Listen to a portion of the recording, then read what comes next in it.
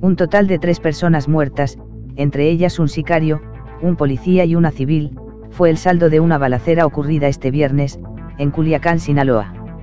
De acuerdo con medios locales, los hechos sucedieron alrededor de la una de la madrugada, cuando tras una discusión, un pistolero disparó contra otro sujeto, en el interior del bar siglo XXI, ubicado en el sector Tierra Blanca. Tras recibir el reporte, al lugar acudieron dos policías municipales, quienes fueron recibidos a balazos por el sicario, resultando heridos al repeler la agresión.